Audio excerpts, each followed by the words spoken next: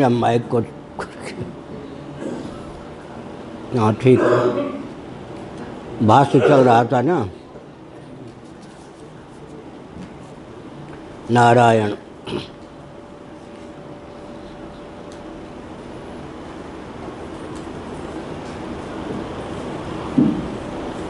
नारायणाखिल गुरो भगवन्नमस्ते नारायणाखिल गुरो भगवन्नमस्ते नामापिते च मधुरं मधुरं स्वरूपं। कर्मापिते च मधुरं मधुरा स्मृतिश्च बुद्धिं प्रबोधय प्रभो मधुबोधशक्तिं। विद्यां प्रयच्छ परमां परिभावयामि। नारायणाखिलगुरो भगवन्नमस्ते शिवाय नमः शिवलिंगाय नमः। नारायण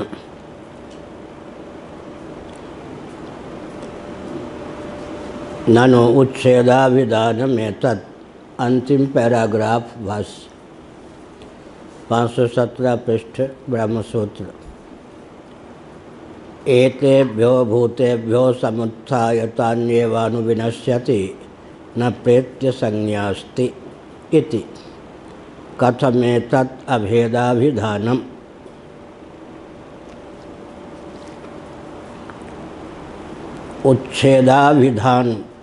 को अभेदा, अभेदाभिधान कैसे कह दिया? उच्छेद का नाम अभेद तो नहीं हो सकता। अभिधान का अर्थ है संज्ञा। बृहदारण्य उपनिषद दो चार बारह की गाथा है।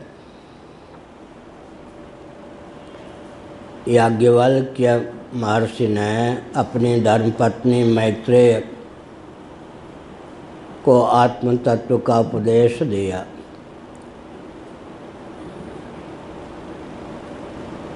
उपदेश सुनने के बाद उनकी पत्नी मैत्रेयी ने कहा,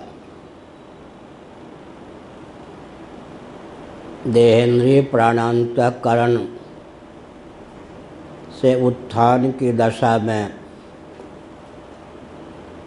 आत्मतत्व का उच्छेद ही सिद्ध होता है। आत्म तत्व शेष रहता है। ऐसा तो समझ में नहीं आता। आप तो आत्मा को सर्वोत्कृष्ट परम भाव रूप सिद्ध करने चले थे। लेकिन जिस ढंग से आपने आत्म तत्व का प्रतिपादन किया, उससे तो लगता है कि मेरे मन में मोह का ही आधान हो रहा है। अर्जुन ने भी भगवान से कह दिया था, बुद्धि मोह शिव में इव लगा दिया। आपने जो कहा है, उससे तो मेरी बुद्धि ही, मानो आप विमोहित सी कर रहे हैं। इस पर याज्ञवल्क जी ने कहा कि न प्रेत्य संज्ञास्ति प्रेत्य का अर्थ होता है विशेष। प्रेत्य का अर्थ है विशेष। विशेष भाव का अपकर्ष हो जाने पर, अपनोदन हो जाने पर, निरसन या अपलाप हो जाने पर, सामान्य रूप से विशेष की अवस्थिति का नाम उसके अस्तित्व का विलोप नहीं है। आधुनिक विज्ञान वाले क्या कहेंगे? Matter can neither be created nor destroyed किसी भी पदार्थ का निरन्वय नाश नहीं होता, निरवधिक नाश नहीं होता। जिस रूप में पदार्थ दिखता है उससे सूक्ष्म रूप में, कारण रूप में जाकर पदार्थ अवशिष्ट हो जाता है। एक कटोरा में कपूर लीजिए, जला दीजिए। बौद्ध तो कहेंगे कपूर का सर्वतो भावे नाश हो गया, लेकिन वस्तु स्थिति है, एक तो काला धब्बा कटोरी पे पड़ जाएगा, कटोरी में। दूसरे प्रयोगशाला में गैस आदि का संकलन करें तो यही सिद्ध होगा कि कपूर कपूर रूप में न शेष रहकर भी उसका मौलिक स्वरूप तो अवशिष्ट रह गया। इसीलिए अव्यक्तादीनि भूतानि व्यक्त मध्यानि भारत, अव्यक्त निधनान्यव तत्र का परिदेवना। न सतो विद्यते भावो ना भावो विद्यते सतः। इन तथ्यों को आधुनिक वैज्ञानिक कहते हैं, matter can neither be created nor destroyed. पदार्थ की आकस्मिकी उत्पत्ति नहीं होती। ऑल ऑफ़ सडन कोई पदार्थ उत्पन्न नहीं होता। और किसी भी पदार्थ का निरन्वय, निरवधिक नाश नहीं होता। उत्पत्ति के पूर्व भी पदार्थ का अस्तित्व रहता है। जिसको हम नाश कहते हैं, उसके बाद भी पदार्थ का अस्तित्व शेष रहता है। अव्यक्त की व्यक्त भावापत्ति और व्यक्त की अव्यक्त भावापत्ति का क्रम चलता रहता है। इसी शैली में याज्ञवल्क जी ने कहा, मैंने तो सत्य ही कहा, तुम्हारे मन में मोह व्यर्थ ही हो रहा है। विशेष भाव का कर्षण कर लेने पर देहेंद्री प्राणांतकरण में तादात्म्यापत्ति का निरसन कर लेने पर ऐसा लगता है कि मानो विज्ञाता का विलोप हो गया। विशेष विज्ञान का विलोप होने पर भी चित सामान्य तो शेष रहता ही है। बहुत उदाहरण दिया कल परसों। नेत्र के योग से हम दृष्टा माने जाते अब नेत्र का अपलाप कर लें तो दृष्टा तो अब नहीं रह जाते। दृष्टा संज्ञा हमारी समाप्त हो जाती है। अब श्रोत्र में तादात्म्यापत्ति होने पर श्रोत्री, श्रोता संज्ञा। तो दृष्टा का नाश तो नहीं हुआ। दृष्टा जो पहले नेत्र के योग से दृष्टा माना गया, श्रोत्र के योग से वही श्रोता हो गया। मति के योग से वही मनता हो गया, बुद्धि के योग से वही बोधा हो गया। अंतकरण के योग से वही ज्ञाता या विज्ञाता हो गया। इस प्रकार से पाँव में तादात्म्यापत्ति से वही गंता हो गया। और भोग में तादात्म्यापत्ति से वही भोक्ता हो गया। इस प्रकार विशेष, एक विशेष भाव का त्याग करके जीव दूसरे विशेष भाव को प्राप्त करता है। तत्त संस्थान भूत या देहंदी प्राणांतकरण में तादात्म्यपत्ति की दशा में। लेकिन सभी विशेष भाव का निरसन कर दें। न देह के योग से, न इंद्रिय के योग से, न प्राण के योग से, न अंतकरण के योग से।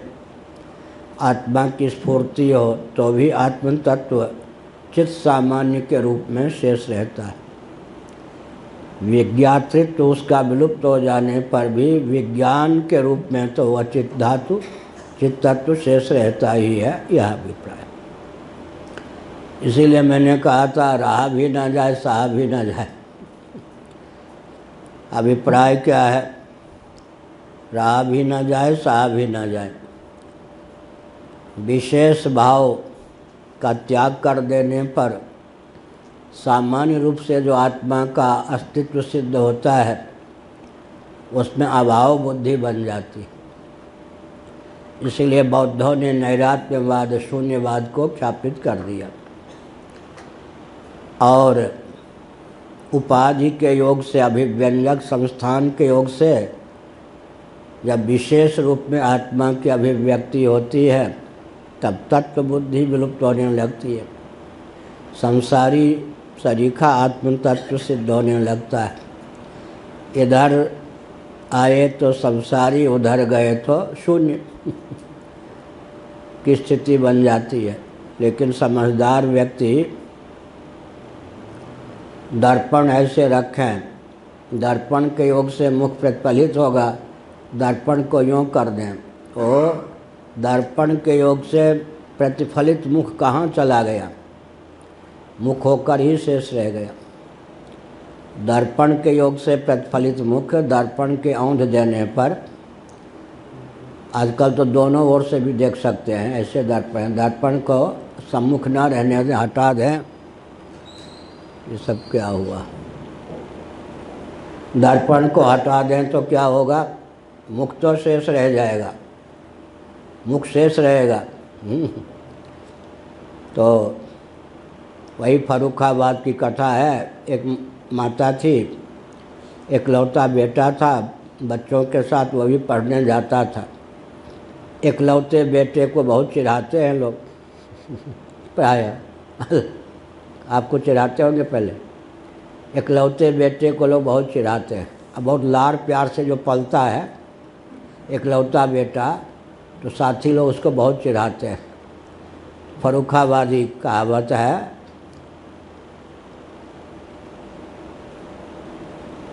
तेरा कान काट के ले गया कौआ तो बच्चा रोने लगे। माँ से आके कहा कि ऐसा ऐसा चिढ़ाते हैं तो माँ ने सिखा दिया कि मंत्र पक पकड़े हैं पकड़े हैं। काट के नहीं ले गया है, अभी है। ऐसे ही विशेष भावापत्ति न रहने पर भी सामान्य रूप से हम शेष हैं। न प्रेत्य संज्ञा स्थिति प्रेत्य माने विशेष संज्ञा न रहने पर भी सामान्य रूप से हम शेष हैं। तो विज्ञान को विज्ञाता होने में कितना विलंब? उपाधि सामने ला के रख दीजिए, विज्ञान विज्ञाता हो जाता है।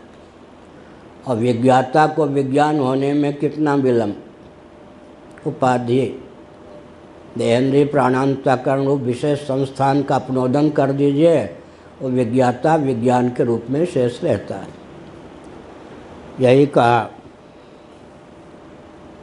ननु उच्छेदा विधान में भूतेभ्य समुत्थाय तान्यवानुविनश्यति, न प्रेत्य संज्ञास्ति इति। कथम एतत् अभेदाभिधानम अभेदाभिधान माने अभेद अभेद संज्ञा इसको कैसे कहेंगे? तो उच्छेद है, विनाश विनाशाभिधान अभिधान माने संज्ञा अभिधान माने नाम अभिधान माने संज्ञा। कल भी कहा था, अभिधेय माने नामी, अभिधान माने नाम, अभिधान माने संज्ञा। यहाँ संज्ञा शब्द का श्रुति ने प्रयोग किया, न प्रेत्य संज्ञा थी वृदान दो चार बारह। संज्ञा का लोप होता है, संज्ञा जिसकी है, उसका लोप नहीं होता। वेदांतियों को परंपरा से अगर वेदांत का अध्ययन न हो बहुत ही बवंडर मचाते स्वयं अज्ञानी बनकर, ज्ञानी होने के नाम पर और औरों का बंटा ढार करते संज्ञा का विलोप होता है, वो समझते हैं, जिसकी संज्ञा है, उसी का विलोप हो गया। संज्ञा का। प्रत्य संज्ञा माने सामान्य। भाव से शेष रहने पर भी विशेष भावापत्ति जो थी, विशेष संज्ञा जो थी, उसका विलोप हो गया, ऐसा। सामान्य भाव से तो आत्म तत्व शेष रह गया। इसलिए अभेदाभिधान है। उसकी ब्रह्म से एक रूपता का निरूपण किया गया है। जो विशेष रूप में परिलक्षित था, वही अब सामान्य रूप में शेष रह गया। सामान्य रूप में शेष रह गया मतलब उस विशेष का सर्वथा उच्छेद नहीं हुआ, वह सामान्य रूप में शेष रह गया। यह। नहीं सा दोषा या कोई दोष नहीं है। विशेष विज्ञान विनाशाभिप्राय में तद विनाशाभिधानम। विशेष विज्ञान के विनाश की भावना से, विनाश का अभिप्राय से या विनाशाभिधान है। विनाश का कथन है। अभिधान माने संज्ञा, अभिधान माने कथन। याज्ञवल्क जी ने कहा कि विशेष भाव इसका नष्ट हो जाता है। विशेष भाव का नष्ट हो जाने, नाश हो जाने पर भी सामान्य रूप से तो अस्तित्व शेष रहता है। अब विशेष पर्यंत ही जब व्यक्ति की महत्व बुद्धि होती है तो विशेष का अपनोदन हो जाने पर वो नहीं समझता कि सामान्य रूप से मैं शेष रह गया।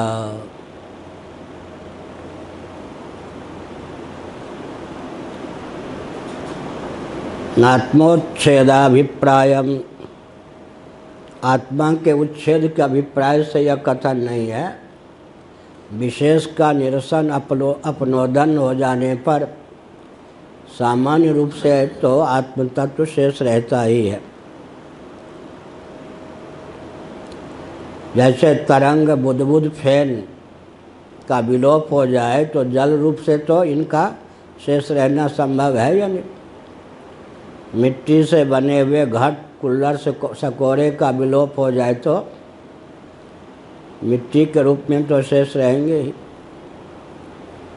एक बाबा घूम रहे थे। समझ गए वैदिक जी गंगा के तट पर एक भक्त ने कहा, महाराज, रात्रि का समय आने वाला है। हमारे घर को कृतार्थ करें। दीपावली के आसपास का समय था। प्रसाद पावे, रमते राम, फिर कल भाव हो तो रुकिएगा, नहीं तो चल दीजिएगा। महापुरुष ने समझा कि संत क्या भक्त है। लगता है कि वाणी में छल कपट नहीं है। संत चल पड़े, एक कमरे में ठहरा दिया। बगल वाले कमरे में चार पाँच बच्चे थे। मैं बाबा खाऊँगी, एक बच्चा बोली, छोटी बच्ची, नहीं नहीं, मैं खाऊँगा। अब भाई बहन सब झगड़ने लगे। उन्होंने कहा कि हाँ तो बलि की तैयारी हो रही है आज तो वो बच्चे समझ गए हैं ये इसका बाप जो ले आया है ना पकड़ के वो भाग रहे कसाई कहाँ के हम्म, हत्यारा कहाँ के अरे राम हम ब्राह्मण सन्यासी हमको मारने की योजना क्या हो गया महाराज क्यों भाग रहे? देखो देखो बच्चे लोग क्या बात कर आइए महाराज आइए। दीपावली के अवसर पर खान का बच्चों बाबा सा बनाओ उन्होंने कहा इसको लेकर बच्चे झगड़ रहे आप चिंता मत कीजिए हम भगवान के भक्त हैं हम आपकी बलि नहीं देंगे। हो गया ना। बाबा मैं खाऊँगी, वो कहता बाबा मैं खाऊँगा। और बाबा क्या निकला? खान का। खान का जो बाबा होगा या बिच्छू, कोई कहे, बिच्छू मैं खाऊँगी, कोई कहे, बिच्छू मैं खाऊँगा। वो बिच्छू क्या है? शर्करा ही बिच्छू के आकार में है और बाबा के आकार में भी है। इसी प्रकार से विशेष का अपनोदन हो जाने पर भी सामान्य रूप से वस्तु शेष रहती है। कटक कटक, मुकुट कुंडलादि आभूषणों का विलोप हो जाने पर भी सुवर्ण धातु के रूप में क्या है?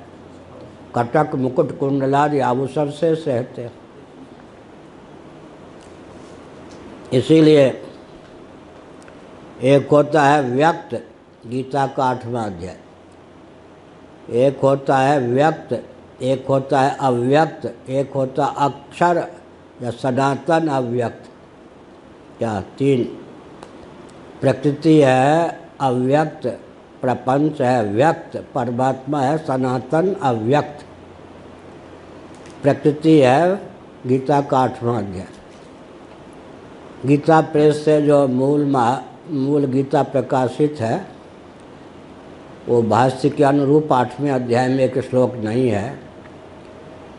वहाँ भूल है।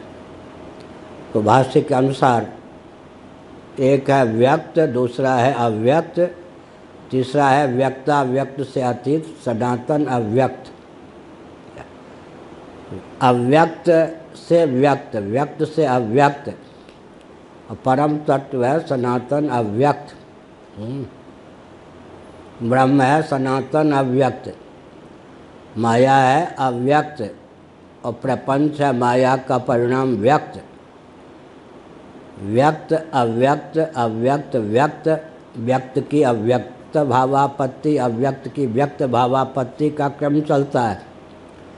कूटस्थ सत्य, भगवान शंकराचार्य कूटस्थ नित्य, कूटस्थ शब्द का बहुत प्रयोग करते हैं। वो क्या है? वो न, वो अव्यक्त ही अव्यक्त है, न व्यक्त है, न अव्यक्त। तो व्यक्त की अव्यक्त भावापत्ति, अव्यक्त की व्यक्त भावापत्ति।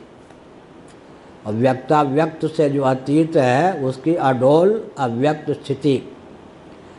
वो यहाँ पर दो ही दो ही कक्षा में वस्तु को निपटा दिया।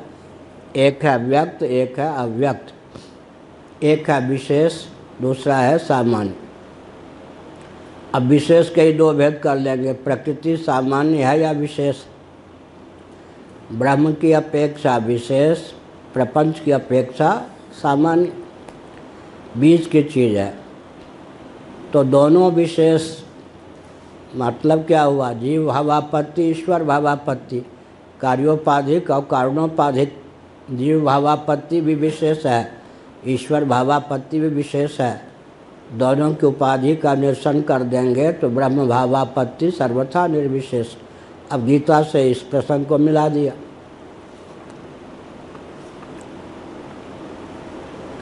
अत्रैव माँ भगवन् मुमुहन्न प्रेत्य संज्ञास्ति पर्युन्, पर्यनुयुज्य। स्वयमेव श्रुत्यार्थान्तरस्य दर्शित्वात् न वा अरेहं वोऽहं ब्रवीमि अविनाशी वा अरे अयमात्मा अनुच्छित्य धर्मा मात्रा संसर्गस्त्वस्य भवति इति। अब कहते हैं, याज्ञवल्क जी ने अपनी पत्नी मैत्रेयी को समझाया।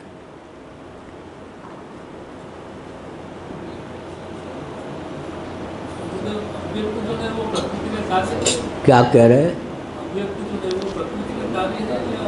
हाँ सुनो भाई, इनका प्रश्न। अव्यक्त प्रकृति का कार्य है और अव्यक्त क्या है? कहाँ पर? कहाँ पर? नहीं यहाँ है लेकिन डिम है। वो स्याही पुराना ग्रंथ हो जाने से लगा दो। क्या कह रहे हैं? प्रकृति व्यक्त है या व्यक्त? ये पूछ रहे क्या पूछ रहे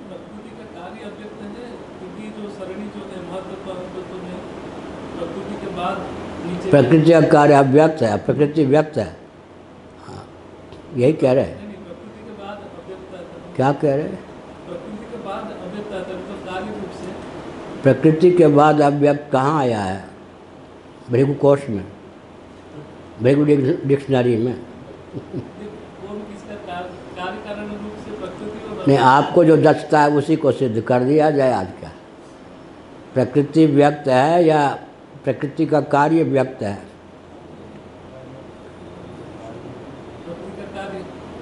क्या है? कहने में कठिनाई विशेष भावापत्ति का नाम है अभिव्यक्ति। ऐसा तो प्रकृति क्या है?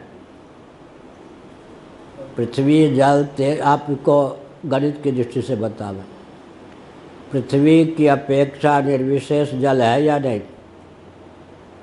पृथ्वी में कितनी विशेषताएँ हैं? शब्द स्पर्श रूप रस गंध पाँच। और जल में स्वभाव से गंध नहीं है, निर्गंध है। चार विशेषता। तेज में शब्द स्पर्श रूप और वायु में शब्द स्पर्श।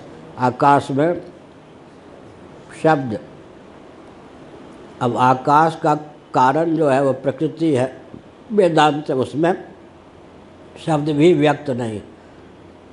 तो पृथ्वी की अपेक्षा जल जल की अपेक्षा तेज तेज की अपेक्षा वायु वायु की अपेक्षा आकाश, ये निर्विशेष हैं या नहीं? ये व्यक्त में इतने प्रभेद हो गए। लेकिन व्यक्त में भी क्या है? तारतम्य है। लेकिन आकाश की अपेक्षा भी निर्विशेष कौन है? प्रकृति। क्योंकि अब दो चीज़ होती है। One minus one is equal to zero. एक से एक घटा देंगे तो क्या होगा? शून्य होगा। आकाश में कितना गुण है? एक। और इस एक गुण, शब्द नामक गुण का भी अपहरण कर लेंगे तो कौन, कितना गुण रह जाएगा? शून्य। कोई गुण नहीं रहेगा। एक है गणित का विज्ञान, एक है कृषि का विज्ञान। कृषि पर भी मेरा एक ग्रंथ लटका हुआ है 200 पेज हो गया है मेरे ख्याल में। या 280 पेज हुआ है, पता नहीं। 200 पेज हुआ है, कृषि दर्शन नामक ग्रंथ।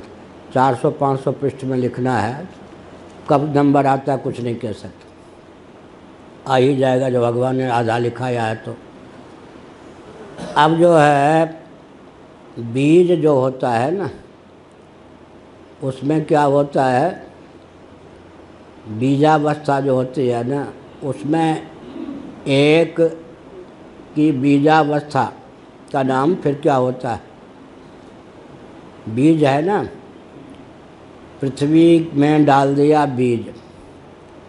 पृथ्वी और पृथ्वी में डाल दिया बीज, डाल दिया ना।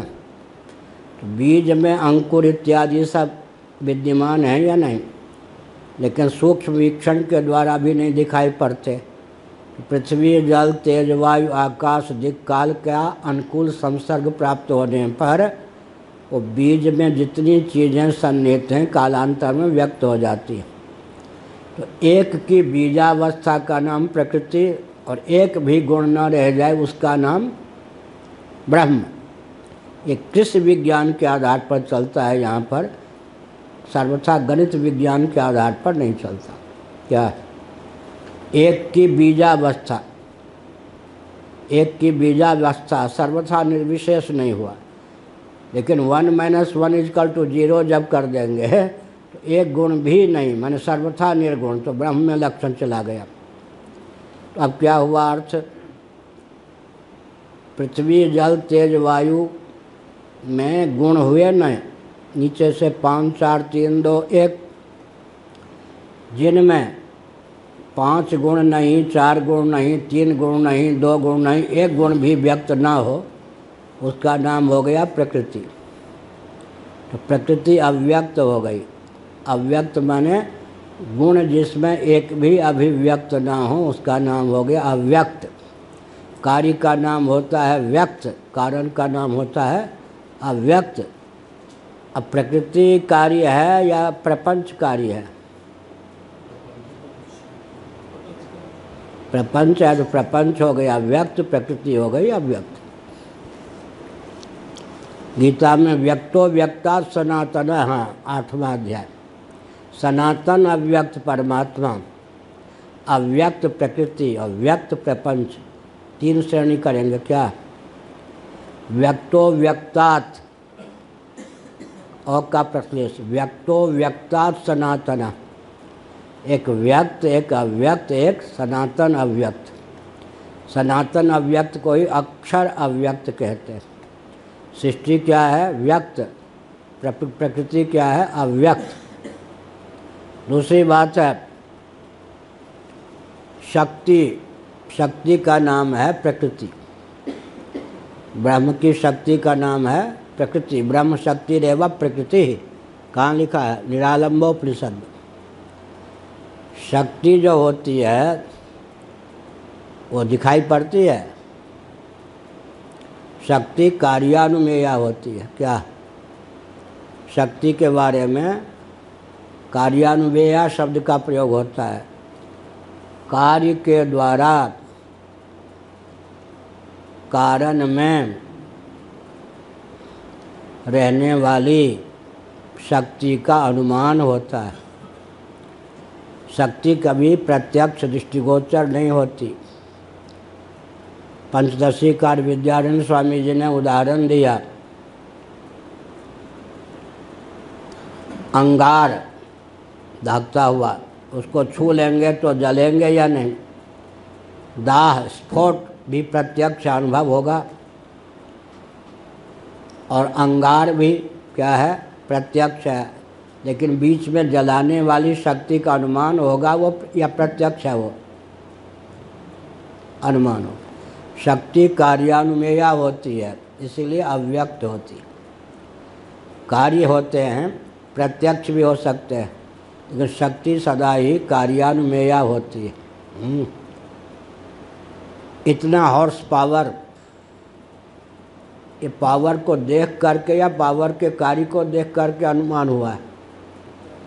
इतना हॉर्स पावर जो कहते हैं पावर को आँख से देखा या क्या किया? प्रत्यक्ष। पाँचों इंद्रिय में किसी विषय, किसी इंद्रिय का विषय बना, लेकिन इतना पावर इतने पावर वोल्टेज ये सब तो शक्ति कार्यानुमेय होती। गुलाब के बीज में बीज माने अंकुरोत्पादनी शक्ति, संपन्न पदार्थ। कांटे को उत्पन्न करने की शक्ति है। पौध को इन सबसे विलक्षण, पत्तियों को उत्पन्न करने वाली शक्ति, उनसे विलक्षण, पराग मकरन से युक्त पुष्पों को उत्पन्न करने वाली शक्ति। ठीक है? लेकिन ये शक्ति में भेद है या नहीं? परास्य शक्ति विविधि श्रूयते।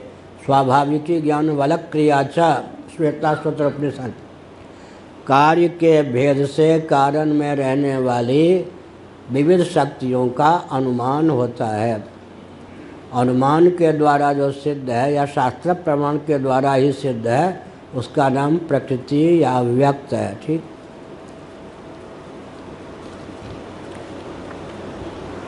अत्र माँ भगवान अमुमो अमुमोहन्ना प्रत्य संज्ञा इति। इति पर्यनुयोज्य इस प्रकार शंका प्राप्त होने पर, शंका को प्रस्थापित किया मैत्रेय ने। मैत्रेय ने स्वयमेव श्रुत्यार्थांतर से दर्शितत्वाद आचार्य के व्याज से श्रुति ने स्वयं ही इस तथ्य को फिर उद्भाषित किया। हमारे पूज गुरुदेव ने हमको बहुत ऊँचा तथ्य बताया, सब उन्हीं का बताया हुआ। कि देखो, भगवान शंकराचार्य ने लिखा है, जहाँ जहाँ उपनिषदों में, गुरु शिष्य आदि का संवाद है पद पत्नी आदि का संवाद है, वहाँ भगवान शंकराचार्य कहीं वेद पौर से न सिद्ध हो जाए। इसलिए वहाँ पर लिखते हैं, सुखपूर्वक तथ्य को समझाने के लिए आख्यायिका है। क्या? रामपुर के रामलाल ने पच्चीस रुपये किलो रामदाना खरीदकर रामघाट में रामनवमी के दिन तीस रुपये किलो रामदाना को बेचा। अब बताओ उस विक्रेता को लाभ हुआ या हानि हुई? लाभ हुआ तो कितने प्रतिशत, हानि हुई तो कितने प्रतिशत? अब यह जो गणित में लिखी हुई पंक्ति होगी, इसमें वो रामलाल, रामदाना, रामघाट, पच्चीस तीस से कोई मतलब है क्या? इसका अभिप्राय है कि विद्यार्थी गणित में निपुण हो जाए। लेकिन वेदों में या उपनिषदों में जो इस प्रकार का संवाद आता है, अमुक के पुत्र, अमुक अमुक के शिष्य, अमुक वंश परंपरा का वर्णन आता है। पूज्य गुरुदेव ने कहा,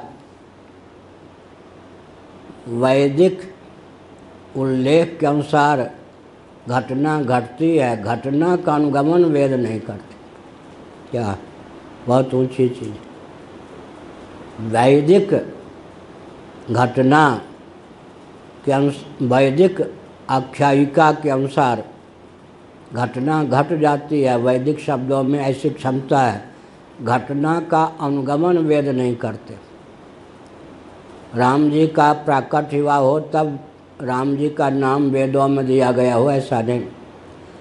वैदिक संवाद, वंश परंपरा आदि का अनुगमन इतिहास करते हैं। वैदिक शब्द के अनुसार घटना घट जाती है। घटना के अनुसार वेदों की संरचना नहीं होती। इसीलिए याज्ञवल्क जी ने जो कुछ कहा, भगवान शंकराचार्य ने याज्ञवल्क जी के वचन के लिए श्रुत्यान श्रुत्यार्थांतर से दर्शितत्वाद श्रुति के द्वारा। माने श्रुति ही वहाँ पर याज्ञवल्क बन करके, मैत्रेयी बन करके क्या प्रश्नोत्तर का क्रम चलाती है? इसलिए याज्ञवल्क जी ने कहा तो श्रुति ने कहा, मैत्रेय जी ने पूछा तो श्रुति ने पूछा। सुखपूर्वक दार्शनिक तथ्य को समझने के लिए आख्यायिका का उपयोग किया जाता है वेदों में। अगर वो आख्यायिका ना हो तो मेरी दुर्दशा जैसे मानते लोग वैसे हो जाए। मेरी दुर्दशा मैंने मेरी कोई पुस्तक पूरी पढ़ता ही नहीं प्राय। केवल जयमंत में जी थे। और कुंती स्तुति, वो कहा था श्यामा शरण जी ने तो मैंने तीन बार हिमालय में रह के पढ़ा अलग बात। कारण क्या है? अब गीता में संवाद तो है, लेकिन दाल में नमक के समान। और ये जनक इत्यादि का जनका दया दाल में नमक के साथ। तो गीता कठिन है या नहीं? कठिन है। केवल सिद्धांत का निरूपण करेंगे, दृष्टांत आदि नहीं देंगे तो विषय जटिल होगा या नहीं? तो महाभारत का मूल स्वरूप चौबीस हज़ार श्लोकों का है। आख्यायिका इतिहास रहित। बहुत कठिन है। वेदव्यास जी ने पहले चौबीस हज़ार श्लोकों में महाभारत लिखा। लेकिन इतना कठिन, केवल सिद्धांत भाग, उसको फैलाकर एक लाख कर दिया। सत साहसी संहिता। आजकल जो सौ, माने सौ हज़ार वाली पुस्तक, एक लाख श्लोकों वाला महाभारत है, उसमें मूल चौबीस हज़ार विद्यमान है। एक बार दसवें अध्याय गीता पर हमने लिखा, सनातन देव जी, मुनीलाल गुप्त, जिन्होंने शंकर भाष्य उपनिषदों का अनुवाद किया है। गीता प्रेस से प्रकाशित है। उनके संन्यास का नाम सनातन देव, पूर्वाश्रम का नाम था उनका, मुनिलाल गुप्त। उनको देखने के लिए दिया हमको बहुत मानते थे, सनातन देव तो उन्होंने बहुत अच्छी टिप्पणी की। क्या टिप्पणी की मालूम है? आपका लेख पढ़ा, पढ़ते जाओ भूलते जाओ। उस समय टिप्पणी की थी, शायद अठहत्तर में। पढ़ते जाओ भूलते जाओ। क्या? कुछ पल्ले नहीं पढ़ना। तो उन्होंने हमारा नामे रख दिया। इनकी बात सुनते जाओ भूलते जाओ। इनका लेख पढ़ते जाओ, भूलते जाओ। वो क्या है? अगर सिद्धांत सिद्धांत बोलेंगे, बीच में के दृष्टांत आदि नहीं देंगे तो सबकी कथा यही होगी। पढ़ते जाओ, भूलते जाओ, सुनते जाओ, भूलते जाओ। इसलिए यहाँ पर याज्ञवल्क जी के ब्याज से श्रुति ने स्वयं कहा श्रुत्यार्थांतर से दर्शितत्वात् नवा अरे हम वो हम अरे वो मैत्रेयी मैं तुम्हारे हृदय में मोह का आधान नहीं कर रहा। मोहप्रद कोई वचन का विन्यास नहीं कर रहा। अविनाशी व अरे अयम आत्मा अनुच्छित धर्मा। या जो आत्म तत्व है, अविनाशी है, इसका नाश नहीं होता। अनुच्छित धर्म, वास्तव में इसका कुछ बाल बांका नहीं होता, इसका उच्छेद नहीं होता, कोई सवयव पदार्थ नहीं है कि किसी अंश में विलुप्त हो जाए जो के त्यों अक्षत बना रहता। है मात्रा संसर्ग स्वस्थ भवती, लेकिन होता क्या है? कल्पित संसर्ग के कारण इसमें विशेषता की प्राप्ति होती है। कल्पित संसर्ग, असंगो नहीं सज्जते असंगो ही अयम पुरुष है पुरुष। असंग है, स्वरूप से, जिसका संग तो ही नहीं सकता। है लेकिन तादात्म्य पत्ति तुलसीदास जी ने उदाहरण दिया, बंध्यो कीर मरकट की नहीं। बंध्यो कीर माने तोता, मरकट की नहीं। बंध्यो कीर मरकट की नहीं। मरकट माने बंदर।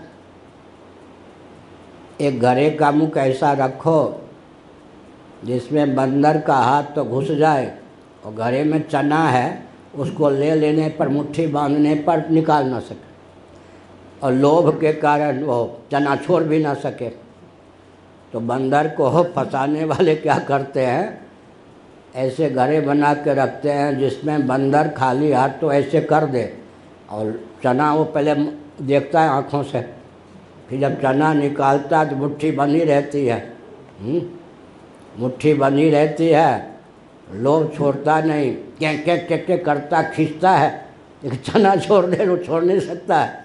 बस इतने में आकर के बंदर को फंसाने वाले फंसा लेते हैं। तो मिथ्या बंधन है या सचमुच? ऐसे तोता को भी यूँ करके वहाँ तक ले जाते हैं शरीर, अंत में। वो आके बैठता है। अब वो ऐसे मशीनदार उसको ऐसे ऐसे करके ऐसे जैसे आजकल होता है ना इतना बड़े डंडा लेके घूम रहे हैं फैला देते हैं। क्या? छाता भी आजकल। एक हाथ के छाता ले लो और घुमा दो तो तीन फीट के बन जाए।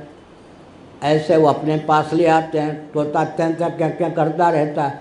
उसे ये नहीं मालूम तो फंसे कहाँ हो बंधे कहाँ हो। लेकिन वो लग, उसको लगता है बंध गया। तो जैसे तोते को मिथ्या बंधन की प्राप्ति होती है कीर। जैसे बंदर को मिथ्या बंधन की प्राप्ति होती है, वैसे ही जीव को मिथ्या बंधन की प्राप्ति है। ऐसा, यही कहा। अरे अयम आत्मा अनुच्छित धर्मा, मात्रा संसर्गस्व भवती। मात्रा से केवल, विशेष इसका केवल संसर्ग होता है, उपभोक्ता तो हो ही नहीं पाता। बताया था, ऐसे ही। और व्यावहारिक धरातल पर भी हमारा एक ग्रंथ है सबसे पहला, अध्यात्म रहस्य। कुछ गुरुदेव आदि से पढ़ना शुरू नहीं किया था, तब का वो ग्रंथ, पहला ग्रंथ वही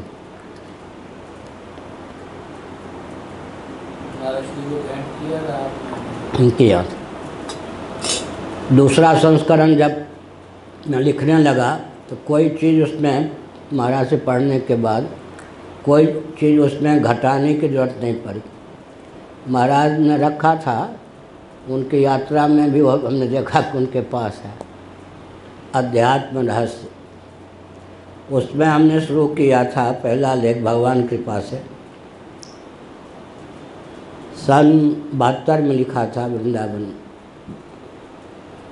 हमारे आपके लाखों करोड़ों अरबों जन्म हो चुके स्वरूप महिमा के बल पर कितने आसक्ति पूर्वक उन उन शरीरों को, रिश्तेदारों को, नातेदारों को पकड़ा। लगता था इनके बिना तो मर ही जाऊँगा। अब कोई है? इसका नाम है स्वरूप वैभव। कितने भी आसक्त हो जाओ, पत्नी में, पुत्र में, बेटे में, धन में, प्रकृति क्या करती है मालूम है?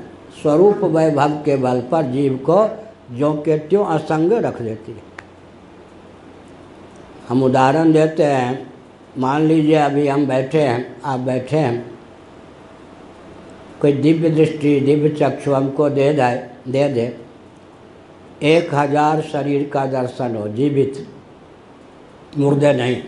उसमें कोई चीते का, कोई व्याघ्र का, कोई चमेली का, कोई चंपा का, कोई उल्लू का, कोई उर्वशी का, कोई सुंदर का ऐसे। कोई तिलोत्तमा का, कोई रंभा का, कोई गंधा का, कोई देवराजेंद्र का, और कोई शेर, बब्बर चीता का, कोई शरभ का, कोई गधा का, ऊँट का कौआ का, तोता का। इतने में कोई बाघ, उन्हीं शरीर में एक व्याघ्र वो दौड़े। भगने का प्रयास करेंगे, अजगर निकालने के लिए दौड़े। बाद में पता चले दिव्य दृष्टि के बल पर, एक जन्म पहले मैं यह था कि मेरे ही सब शरीर हैं दूसरे जन्म पहले में यह था, तीसरे जन्म में तो आश्चर्य होगा या नहीं हम्म। लेकिन जिस जिस शरीर में थे, उस उस शरीर को कितना जकड़ के पकड़ा था और रिश्तेदार नातेदार हम्म। एक बार विरोध किया मेरे बड़े भाई के बड़े भाई ने। माने मेरे भाई हुए ना फिर। कि तुम्हारी शादी करवा दें बच्चे थे। तो हमने कहा, ना, क्यों? मैंने कहा पत्नी इतनी सुंदरी होगी कि मैं बाहर जाऊँगा तो बाहर से ताला लगा दूँगा। तो उन्होंने कहा बाबा बनने का लक्षण है, या नहीं गृहस्थ आएगा तो लगता कि पत्नी को कोई देख न ले इधर ना हाँ? इतना आसक्त, बेटे के बिना जीवित नहीं रहूँगा, धन के बिना जीवित नहीं रहूँगा। कुछ भी बचता है क्या?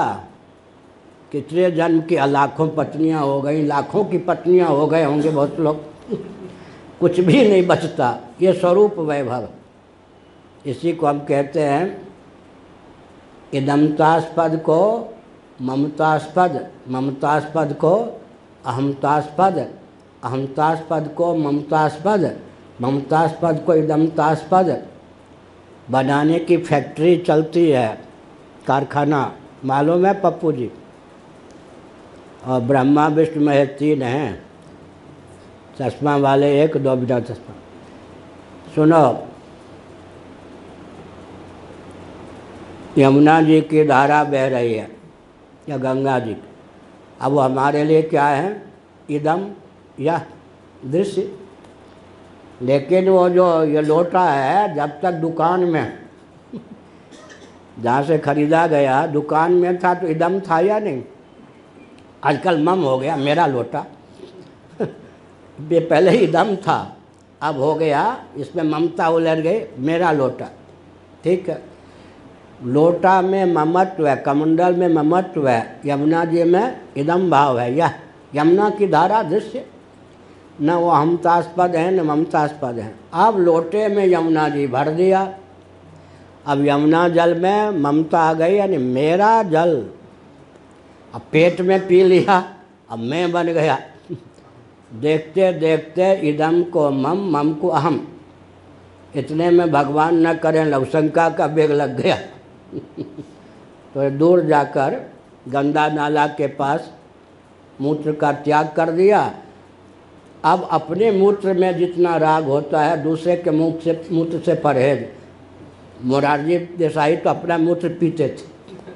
तो हमारे पूज्य गुरुदेव ने प्रयाग के प्रवचन में कहा, मूत्र पीने वाले प्रधानमंत्री से तुम लोग क्या आशा रखते हो? गोमूत्र पीवे ये भी नहीं, कहा अकल का दुश्मन। गोमूत्र पीवे, ये भी नहीं, अपना मूत्र पीता है। राम राम, ऐसे व्यक्ति को प्रधानमंत्री बनाने से देश का क्या होगा? बंटाधार नहीं होगा तो क्या होगा? महाराज ने कहा था स्वाम्बुपान तो क्या हुआ? अपने मूत्र में फिर क्या हुआ? अंदर जब मूत्रांश था तो अहम, बाहर निकला तो मम। देखते देखते गंदा नाले में चलाकर दस मीटर, बीस मीटर चला गया तो फिर इदम। चलता रहता है। क्या? बाल जब तक सर में है, तब तक अहम। और मेरा बाल मम और निकल आया तो इधम। उसमें भी थोड़ा राग होता, मेरा बाल। अंत में क्या हुआ? ये फैक्ट्री पर देखिए। इदम, मम मम, अहम अहम कालांतर में मम मम फिर बहते बहते इदम। ये फैक्ट्री चलती रहती है जीव जो के त्यों असंग बना रहता है। तो स्वरूप वैभव के बल पर भले ही हम कितना भी रागान्वित हों, प्रकृति किसी वस्तु को पकड़ के रखने देती है क्या? नहीं रखने देती। ये स्वरूप वैभव है। ये सब थोड़ा इधर उधर सुना देते हैं ताकि बात जम जाए। अब क्या कहा? एतदुक्तम भवती। इन सब का लब्बो लवाब सारांश यह होता है।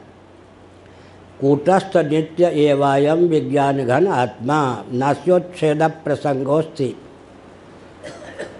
कूटस्थ नित्य शब्द का प्रयोग भगवान शंकराचार्य कहते हैं। नित्य और नित्य में अंतर करना हो तो कूटस्थ नित्य कहकर आत्मा का कूटस्थ नित्य कहकर आत्मा का वर्णन समझना चाहिए। यह जो आत्म तत्व है कूटस्थ नित्य है। निर्विकार कूटवत कूटवत स्थित निर्विकार स्थित है। विज्ञान घन है यह। विज्ञान घन, सैंधव घन जैसे कहते, विज्ञान घन है आत्मा। माने घनीभूत विज्ञान है, विज्ञान स्वरूप ही है। न से उच्छेद प्रसंगोस्ती इसके उच्छेद का कोई प्रश्न ही नहीं उठता। कोई चिल्ला कर कहे मैं नहीं रह गया तो अभी रहना सिद्ध होगा या न रहना? अरे मैं तो मार दिया गया तो अभी जीवित सिद्ध होगा या नहीं? यह राम भरोसे जी की पत्नी गई भिक वहाँ उड़ियाबाजी के यहाँ, वहाँ तो बैठा के भोजन केवल भंडारे में होता था, परोस के, चार रोटी दो, जो भी। और रोटी बट गई थी, और थी थी वो बरेली की वो। उत्तर प्रदेश में बरेली ये सब प्रसिद्ध स्थान है। और मैं तो ऊपर था, वो कटोरा लेके, थाली लेके मारी गई, आज तो भूखे ही मरना है। तो मारी गई, भूखे ही मरना है, जीवित व्यक्ति की वाणी है या मरे हुए व्यक्ति की? यही है, कूटस्थ नित्य है, इसका नाश संभव ही नहीं है। जितने भी नाश हैं, उन सबका साक्षी अधिष्ठान है। मैं मर गया, कोई कहे तो अभी जीवित सिद्ध होगा या नहीं। मृत्यु का भी साक्षी सिद्ध होगा या नहीं? अच्छा शून्य ही है आत्म तत्व नहीं है, ऐसा कहो तो शून्य का साक्षी सिद्ध होगा या शून्य सिद्ध होगा? शून्य की सिद्धि किससे होगी? शून्य से होगी क्या? अभाव की सिद्धि किससे होगी? अभाव से होगी क्या? यही का मात्राभिस्त्वस्य भूतेन्द्रिय लक्षणाभिरविद्याकृता भी भूत, इंद्रिय लक्षण, ये सब पंचभूत हैं अपंचीकृत। उनके कार्य हो गए इंद्रिय। पंचीकृत भूतों का कार्य हो गया शरीर, भूत, इंद्रिय, देहेंद्रिय प्राणांतकरण। ये सब क्या है? अविद्याकृत है, अविद्यक हैं। इनमें अभिनिवेश के कारण ही, मिथ्याभिनिवेश के कारण ही बंधन की प्राप्ति होती है। अब विद्या संसर्ग विद्या के द्वारा क्या होता है? अपने मौलिक कूटस्थ नित्य स्वरूप का बोध हो जाता है। तो अंत में दास कबीरा जतनते और ही जन ज्यों के त्यों धर ही चदरिया। मतलब बाद में पता चलता है कि कोई भी नहीं, असंग के असंग। ऋषियों ने कहा किनसे? द्रोणाचार्य जी से। पंद्रहवें दिन के युद्ध में। कहाँ गया? यह ऋषियों ने हंस पक्षी का रूप धारण करके कहा, युद्ध भूमि में आप भरद्वाज ऋषि के अवतार हैं। कौन? द्रोणाचार्य। ब्राह्मण हैं। आप क्षत्रिय नहीं हैं। और हम ऋषि लोग हंस पक्षी का रूप धारण करके आपको सचेत करने आए आप ब्राह्मणोचित ढंग से शरीर छोड़िए आपकी मृत्यु का समय आ गया है। हम्म, द्रोणाचार्य से कहा। फिर द्रोणाचार्य जी सावधान हो गए। इधर पांडवों ने क्या किया था? उन तक बाण आदि पहुँचाने के सारे रास्ते बंद कर दिए थे। वो तो अर्जुन की क्षमता थी ना। उसके टूणीन में जो भी बाण से अक्षय थे लेकिन और के तो सब ओर से घेर लिया था। और अश्वत्थामा, फतह, थोड़ा नमक मिर्च मिला के झूठ भी बोल दिया, युधिष्ठिर जी ने। लेकिन वहाँ आता है, इकलौता बेटा, बहुत राग। कहाँ का अश्वत्थामा, कहाँ का दुर्योधन, कुछ भी नहीं। बस धनुष बाण छोड़ के रथ पर ही बैठ गए पद्मासन से। और अपने मौलिक स्वरूप का चिंतन करते हुए देह त्याग कर दिया। हम्म, यह द्रोणाचार्य जी ने रथ पर समाधिस्थ होकर देह त्याग किया। इसका अर्थ क्या होता है? इसका अर्थ यह होता है कितना भी बेटे बेटी अपने शरीर में राग हो व्यक्ति संभल जाए तो बस सब के सब खत्म। इसीलिए यह जो आत्म तत्व या संग है आविद्यक राग को पाल करके कितना भी आसक्ति दिखावें, कुछ साथ नहीं जाना। अंत में वो राग भी समाप्त हो जाता है। इस चीज़ को समझ ले कोई तो वर्तमान में भी जो अमुक अमुक में राग है, उसका भी निवारण हो जाता है और अंत में क्या निकलता है? कामना का मूल क्या है जी?